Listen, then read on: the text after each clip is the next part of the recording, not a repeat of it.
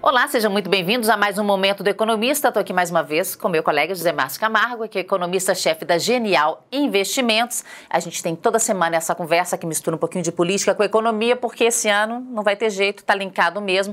Expectativa da reforma da Previdência, que depende muito da política, e se ela não sair, a economia que já não está andando, anda mesmo.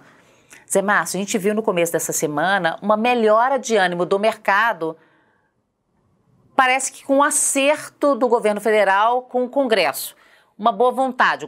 O, Congresso é, concordou em votar todos aquelas, aqueles projetos de lei que estavam né, parados, Medida as medidas, perdão, as medidas provisórias que estavam para caducar. Exatamente. Isso então agora Além delas, será que a reforma também anda? O que, que você está vendo? Não, eu estou muito, realmente estou mais otimista agora em relação à reforma do que estava antes. Eu já estava otimista antes, agora eu estou muito mais, porque agora é, o Congresso resolveu assumir a paternidade da, da reforma, né, o protagonismo. O presidente é, da Comissão Especial da Reforma, da Reforma da Previdência foi a público para dizer que o Congresso vai apresentar uma proposta alternativa com o DNA da Câmara, que isso é fundamental, ou seja, está assumindo o protagonismo para aprovado. Se eles estão assumindo o protagonismo, é porque eles acham que conseguem aprovar, né? Ninguém assume o protagonismo para perder. Então, desse ponto de vista, quer dizer, a, a mensagem que ele está passando é que eles acham que vão aprovar uma boa reforma, tá certo? Eu acho que isso está afetando o mercado. Eu acho que isso é uma parte do, do efeito sobre o mercado, vem exatamente dessa percepção de que é, os deputados efetivamente estão convencidos de que é necessário, parece que estão convencidos de que essa reforma é fundamental. A outra coisa importante é essa coisa das medidas provisórias. Né? Quer dizer, ontem foi votado na Câmara a medida provisória que abre o capital das, das empresas aéreas brasileiras, 100% do capital das empresas aéreas brasileiras, à participação de é, de empresas é, estrangeiras, tá certo? Hoje deve votar a medida provisória que rearruma a estrutura ministerial, 870, que é, é, rearruma a estrutura ministerial. É importante, nesse caso, o seguinte, quer dizer, a semana passada tinha tido um acordo com, com, com os deputados do chamado Centrão para recriar um, dois ministérios, pra, pra, na verdade, para dividir o ministério de um, um, ministério em dois, tá certo? E, mas agora é, o Central voltou atrás, não está exigindo nada, é, vai aprovar segundo... E não está é, mesmo? Não, é, é, é, esse é o ponto, quer dizer, eu acho que tem aí um negócio curioso que está acontecendo, que é uma mudança na forma de governar, né? Quer dizer, até o presidente Bolsonaro, quer dizer, vamos pegar o caso do presidente Temer, principalmente, ele usava muito a negociação para mandar as propostas para o Congresso. Né? Dizer, ele primeiro negociava com os deputados, falava, chamava lá no Palácio Jaburu, discutia, chamava no Planalto e fazia. Então, na montagem das propostas já tinha a opinião dos deputados e dos parlamentares em geral. É, o presidente Bolsonaro parece que não está disposto a fazer isso. Dizer, ele, tá, ele simplesmente pega lá os auxiliares dele, os ministros, faz as propostas e manda para o Congresso sem nenhuma negociação anterior, tá certo? Ao mesmo tempo, ele, quer dizer, pelo menos por enquanto, ele está sempre disposto a negociar no Congresso, os parlamentares fazem é, emendas às propostas, arruma daqui, arruma dali, e ele não reclama, tá certo? Ele simplesmente é, negocia, ele sempre diz, não, pô, manda as propostas e, pô, deixa o Congresso melhorar. Então, é uma forma diferente de fazer política. Está causando muito ruído nesse começo de governo, mas eu acho que está começando, quer dizer, os políticos estão começando a se adaptar a essa forma diferente É, é melhor? Você acha que pode ser eficiente? Eu acho que gera muito ruído. Se, a, a, é, o, quer dizer, se o parlamento se acostumar, vou falar a palavra acostumar, mas é, quer dizer, se adaptar a essa forma de governar, eu acho que tanto faz, tá certo? Quer dizer, na verdade, a, o presidente Temer ele conseguiu aprovar uma quantidade enorme de reformas, e reformas que estavam aí no pipeline há décadas, por exemplo, a reforma trabalhista estava aí desde os anos 80, tá certo? É, é, a terceirização, a liberalização da, da terceirização estava aí desde os anos 70 e ele, com esse jeito dele de negociar e fazer e tal, ele conseguiu aprovar essas reformas todas, tá certo? É, vamos ver se o presidente Bolsonaro vai conseguir aprovar desse novo jeito de governar, tá certo? É, quando é, você muda, é sempre difícil de prever. Agora, é, Zé Márcio, focando um pouquinho mais em economia, o que, que Você acha que está faltando agora nesse. Dá para a gente fazer alguma coisa neste momento, digo, pré-aprovação da reforma? Porque está todo mundo esperando a reforma, mas enquanto isso a gente tem 13 milhões de desempregados. O, o que está faltando fazer agora para que a economia possa dar uma acelerada? Olha, é, vamos, vamos deixar bem claro isso. Quer dizer, não tem muita coisa que o governo pode fazer. É, por que, que não tem muita coisa que o governo pode fazer? Por várias razões. A primeira coisa importante é o seguinte: tem enorme certeza sobre o que, que vai acontecer no futuro. Se é, não aprovar a reforma da Previdência, é o mais provável que a economia brasileira entre, volte a uma, uma recessão muito forte. Ora, se, vai, se, existe essa possibilidade, o investidor não vai investir agora, vai esperar ter alguma certeza de que vai aprovar a reforma da Previdência.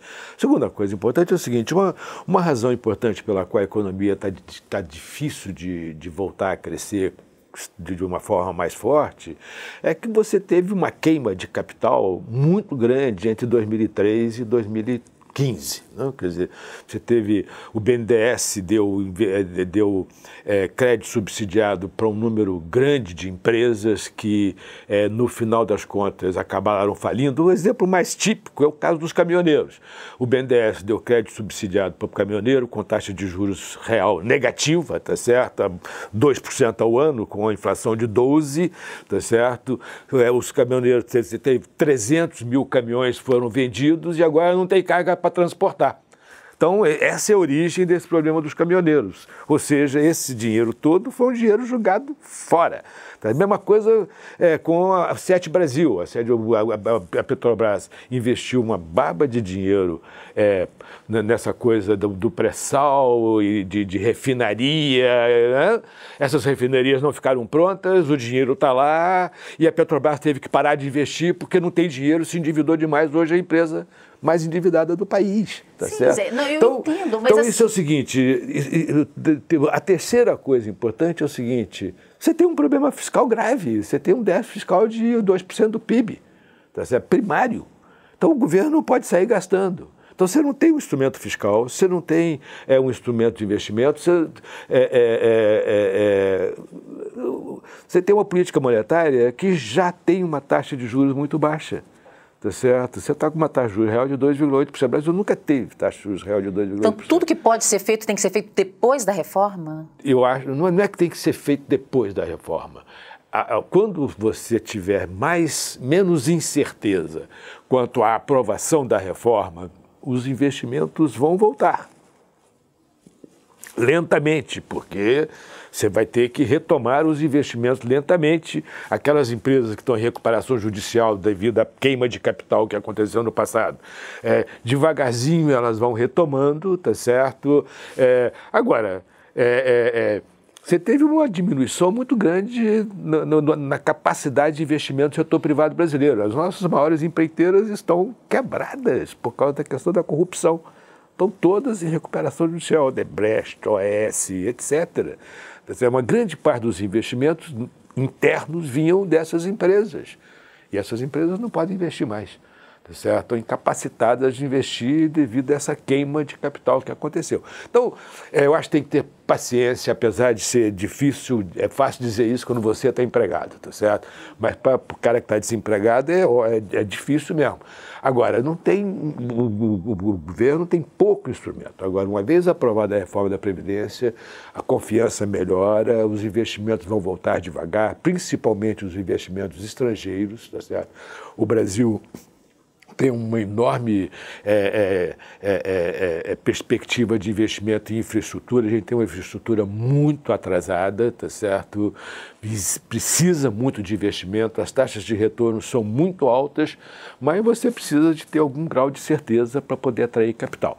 Eu acho que a reforma da Previdência vai ser um marco nessa direção. Isso não significa que a economia vai crescer 10% ao ano, mas vai crescer 2, 3, quem sabe quatro, quatro e meio, tá certo? Ao longo dos próximos anos. Mas eu acho que é importante também outra coisa, quer dizer, as pessoas gostariam de, sempre querem crescer 10% ao ano. Não, vamos deixar, vamos tentar fazer o seguinte, vamos, vamos crescer 3,5% durante 10 anos, 15 anos.